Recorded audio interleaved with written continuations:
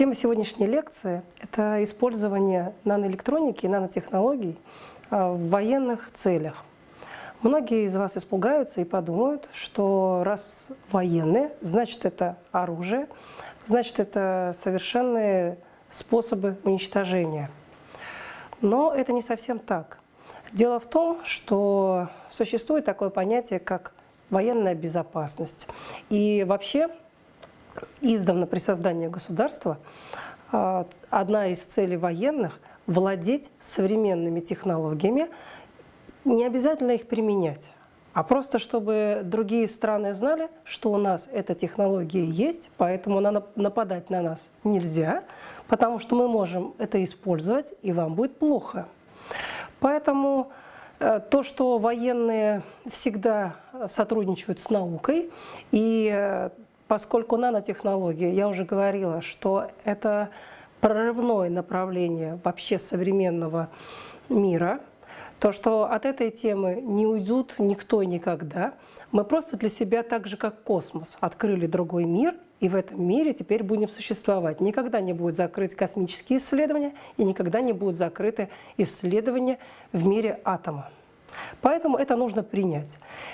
Поскольку это перспективно и открывает нам новые возможности, то в первую очередь заказчиками являются военные. Но тем не менее, если новое открытие, прибор или материал не представляет собой угрозу, а для этого существует специальный комитет под названием «Нанобезопасность».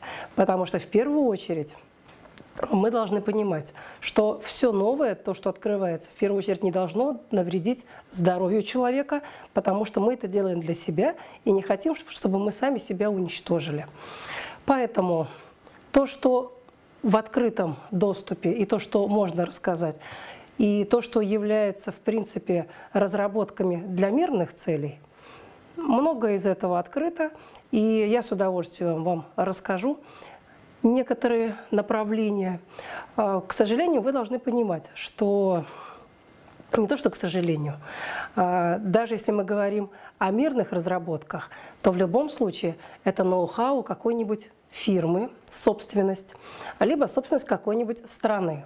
Поэтому, если мы говорим о новых разработках и новых технологиях, мы можем это говорить только в описательном смысле.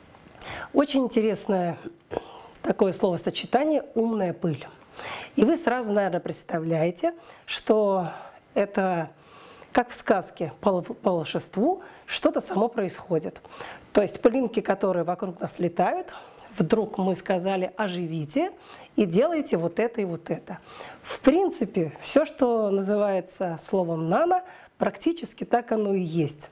Только то, что раньше вы читали в сказках, и просто человечество могло придумать это – но не могло понять, может ли это быть на самом деле или не может. Сейчас многое из этого становится реальностью. Итак, умная пыль. Если говорить официально, то это некая сеть из малых беспроводных микроэлектромеханических систем МЭМС и дополнительных устройств, которые, которые могут взаимодействовать между собой и получать необходимые данные. А для вас я объясню это примерно так.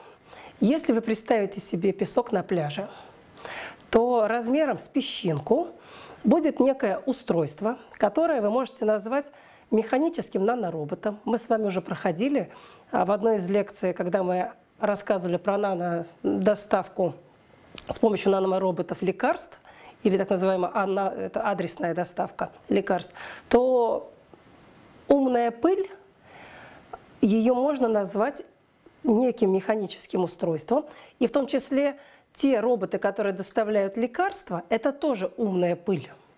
Пыль это имеет с собой свойство, скажем так, просто размеры. У них маленькие размеры. И вот эти маленькие компьютеры, которые имеют действительно свою структуру, свой механизм и свое управление, они имеют свои задачи – они могут выстроиться в цепочку. Что значит выстроиться в цепочку? Они не сами выстраиваются в цепочку. Это зависит от тех целей, которые мы хотим решить с их помощью. Если мы хотим их использовать как доставка лекарств в организм, то значит мы погрузим в них на них, либо в них капсулу с лекарством, и столько, сколько нужно, сделаем вагончиков, и они повезут лекарства, допустим, до сердца, если больное сердце, либо до печени. Если у нас задача оценить состояние окружающей среды, соответственно, мы к ним прикрепим датчики, либо сенсоры, которые э, будут нам оценивать загрязнение окружающей среды. Либо, наоборот, и принесут нам информацию, что это абсолютно экологически чистое место. Если нам нужно, чтобы погрузить воду, соответственно, мы прицепим к этому маленькому компьютеру те датчики, которые специально разработаны для воды. То есть вы должны понимать, когда мы говорим «это умная пыль», то посмотрите на картинки, что это маленькое устройство, там даже поставлен размер где-то 1 миллиметр, оно получается там в итоге, а, ну 1-2 миллиметра. Оно оснащено специальными батарейками, потому что оно должно за счет чего-то двигаться. В нее заключена специальная микросхема, и дальше специальным способом наносятся определенные датчики, которые решают различные задачи.